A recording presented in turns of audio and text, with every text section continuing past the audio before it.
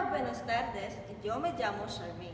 I'm an animal nutritionist and I'm taking classes at Vallejo Center for Learning Spanish.